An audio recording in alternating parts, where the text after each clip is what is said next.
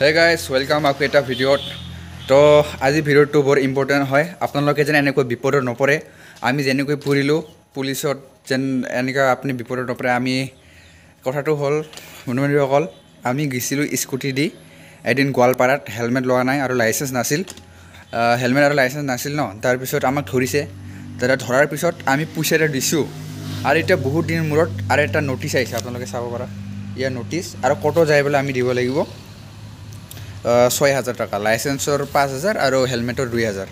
অঁ লাইচেঞ্চৰ চাৰি হাজাৰ হেলমেটৰ দুই হাজাৰ। তো এনেকুৱা বিপদত পৰিছোঁ আমি। মানে কেনেকুৱা কথা আপোনালোকে যেন এনেকুৱা নপৰে। যদি আপোনালোকক যদি পুলিচে ধৰিছে লাইচেঞ্চ নাই আপোনাৰ আৰু হেলমেট নাই যদি পুলিচে ধৰিছে ৰাস্তাত আৰু যদি আপোনাৰ পৰা পইচা খুজিছে তেন্তে আপুনি ৰিচিপ্টটো লওক। ৰিচিপ্টটো বহুত ইম্পৰ্টেণ্ট আমি ৰিচিপ্টটো লোৱা নাছিলোঁ। এইটোৱে আমাৰ এটা অসুবিধাত হৈ পৰিছে। আমি পইচাটো দিছোঁ তথাপি আমাৰ তাতে আহিছে আৰু আকৌ এবাৰ। এয়া নটিচটো আপোনালোকক নটিচটো ভালকৈ দেখুৱাই দিম মই এতিয়া কি কি কৰি আহিছে। তো ইয়াত দেখিছে না নটিচটো গাইছ ইয়াত লিখা আছে in the court of C J M Goalpara. Goalpara আমি গোৱালপাৰাতে গৈছিলোঁ। ইয়াত কৈছে লোক আদালত এতিয়া মোৰ বন্ধু এটা অনিৰুদ্ধ ৰাভা। অনিৰুদ্ধ ৰাভাই চলাইছিল স্কুটিটো স্কুটিটো আমাৰ বাৰু অনিৰুদ্ধ ৰাভাই চলাইছিল। আমাক পুলিচে ধৰিছে পুলিচে ধৰাৰ পিছত পইচাটো লৈছে। পইচাটো লোৱাৰ পিছত আমাক যাব দিছে।